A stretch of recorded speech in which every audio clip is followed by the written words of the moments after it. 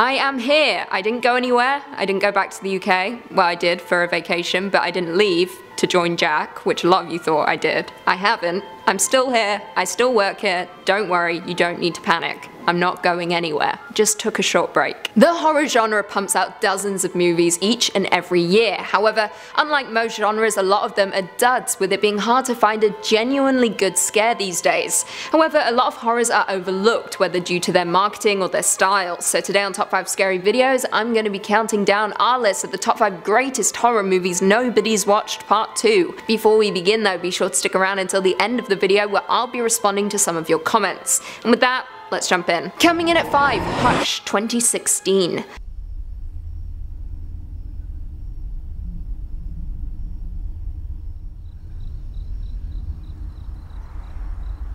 Hush is a 2016 slasher film directed by Mike Flanagan, the man behind The Haunting of Hill House. It also stars his real-life wife Kate Siegel, also from Haunting of Hill House. The film follows a deaf writer who retreated into the woods to live a solitary life, however, she now must fight for her life in silence when a masked killer appears in her window. Now this film is truly wonderful in so many different ways. Not only does it expertly build fear around such a simple premise, but it also isn't torture porn. Our protagonist isn't limited, but instead takes on her attacker through other heightened senses. You root for her most of the time out loud as she faces off against her foe inside her home while everything around her remains completely silent. The movie was an absolute hit among film critics with the movie holding a 91% approval rating on Rotten Tomatoes, with the general consensus reading, Hush navigates the bloody waters of home invasion thrillers and incisive slashes for a contemporary horror puree. If that isn't good enough for you though, horror legend himself Stephen King wrote that, I quote, How good is Hush, up there with Halloween and even more Wait Until Dark, White Knuckle Time on Netflix. Moreover, what makes this movie so superb is the fact that it manages to accomplish three major feats, fear, realism and empowerment. It is honestly one of the best horrors I've watched in a very very long time. In at 4, The Fourth Kind 2009. Tell me about the owl. Doesn't look like a normal owl. There's no owl. It's not an owl. The Fourth Kind is a 2009 science fiction horror movie starring Milla Jovovich. The movie is a pseudo-documentary purporting to be based on real events in Nome, Alaska in 2000, in which psychologist Dr. Abigail Emily Abby Tyler uses hypnosis to uncover memories from her patients of alien abduction, and finds evidence suggesting that she may have been abducted as well. Now, alien movies that provide genuine chills are incredibly hard to come by these days, with nothing quite being able to top the likes of Alien or The Thing. Saying that, The Fourth Kind is yet another take on the found footage subgenre, however, it is unique in the sense that it is presented through police footage, tape psychology sessions, interviews with alleged subjects, as well as staged reenactments. Although the film was absolutely panned by critics, it does successfully capture the real fear behind the idea of extraterrestrials and abductions. And just like Twin Peaks, the owls are not what they seem. Now, as I said before, the film received mostly negative reviews from critics, many of whom were offended that the film attempted to use the real life tragedies missing and deceased Nome citizens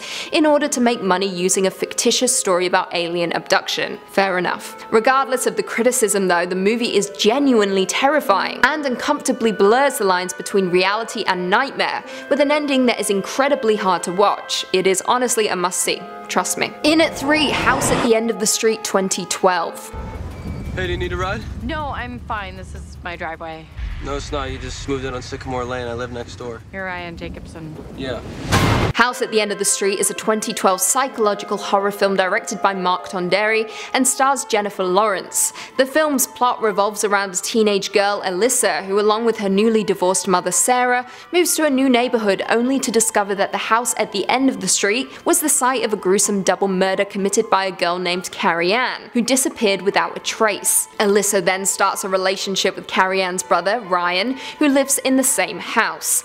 Now, I should preface this point by saying that the first half of this thriller is predictable, however, before you know it, the movie does a complete 180 and is suddenly not predictable. Now, the film didn't win over critics, with the movie holding an approval rating of 12% on Rotten Tomatoes, with the general consensus reading, poorly conceived, clumsily executed, and almost completely bereft of scares. House at the End of the Street strands its talented star in a film as bland as its title. Despite its negative reviews, the movie itself itself feels like an homage to classic 70s horrors in the backwoods where safety is non-existent.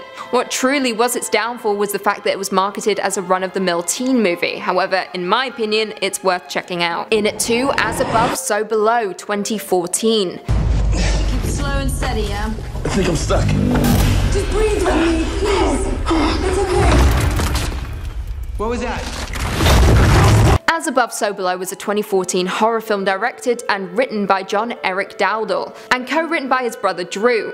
The film follows archaeologist Scarlett Marlowe who has devoted her entire life to finding one of history's greatest treasures, Flamel's Philosopher's Stone. According to legend, the artifact can grant eternal life and turn any metal into gold. When she learns that the stone is hidden underground in the catacombs of Paris, she assembles a crew to guide and document her historic mission. As they begin their descent though, the team members have no way of knowing that they are entering their own personal hell.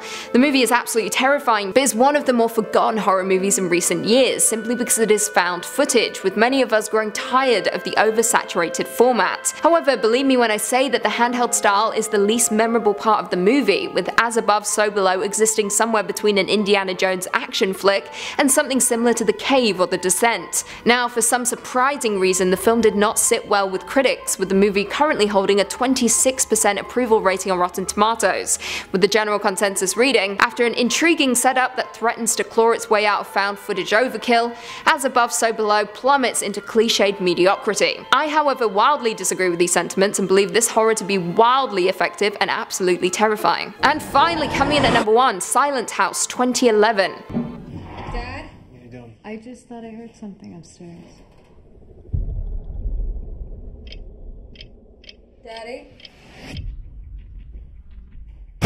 Silent House is a 2011 independent psychological horror film directed by Chris Kentis and Laura Lau, and stars Elizabeth Olsen. The plot focuses on a young woman who is terrorized in her family vacation home while cleaning the property with her father and uncle. The film itself is most notable for its use of real-time footage, as well as manufactured appearance of a single continuous shot. What starts as another home invasion movie quickly becomes an assault on the psyche, taking us all by surprise. Like the majority of our list, this film didn't resonate with critics, with the film holding a 41% approval rating on Rotten Tomatoes. With the consensus reading, I quote, Silent House is more technically proficient and ambitious than most Fright Fests, but it also suffers from a disappointing payoff. However, in my opinion, Silent House manages to grip viewers with unrelenting paranoia, not to mention the one-take style leaving us just as lost as Elizabeth Olsen's character, as we navigate a home that has more secrets than we initially realized. Not to mention the movie has a superb twist that you will never see coming, and pays off in every single way. It is utterly disturbing. Well, there we have it. Do you guys agree with that list? Were there any horror movies that we missed? Leave us all your thoughts and feelings in the comments down below and perhaps we can do a part 3. Before I go though, I just want to respond to a few comments from one of our last videos. Top 5 scary horror movies you can't watch alone part 3. The 13th Caesar said unpopular opinion but I genuinely thought It Follows was trash. I mean, to each their own, we can't all agree on the same thing, but I thought It Follows was one of the scariest things I'd ever watched. I specifically remember where I was. I was in my bedroom in Calgary, and I couldn't move. I was paralyzed with fear. So that's my story. Joshua Villavicencio said, Of course Lucy is a gunner. There is no better horror than Mustafi defending. Whew, I felt that. Mustafi defending is my worst nightmare. Every time I see him on the team sheet, I want to James Vance said REC was good, the remake Quarantine not so much. REC was absolutely amazing, one of the best horror films there is, especially one of the best Spanish horror films there is. Quarantine might be one of the worst horror films I've ever seen in my life. Why remake something that didn't need to be remade? Just because it's in English. No one cares, I can handle subtitles. We all can. We can all read. Most of us can read. Edmund Williams said, Hey Lucy, you should do audiobooks. I love your accent. You should do the book on Jaws. You're not the first person to tell me I should do audiobooks, but I grow very tired of my own voice and I get bored of talking sometimes. So maybe not. I like what I do. So maybe I'll just record you the Jaws audiobook and I'll just send it your way. If you want that, let me know. And on that note, if you haven't already, be sure to give this video a big thumbs up, subscribe, and turn on notifications so you never miss another scary vid. And until next time, see you later.